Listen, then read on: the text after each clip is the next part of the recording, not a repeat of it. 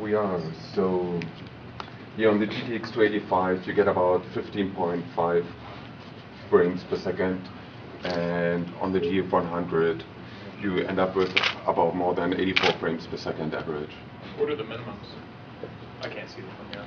Yeah, that's uh, 64 to 38. Okay.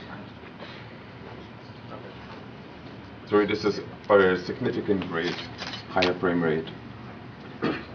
And 90 by 12 for 16 That's probably the most popular resolution today.